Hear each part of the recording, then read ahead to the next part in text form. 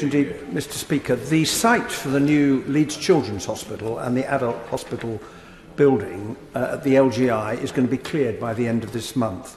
The Trust is raring to go to build these wonderful new facilities. Can the Secretary of State tell me when the final go-ahead for the construction will be given. Exactly. Come on.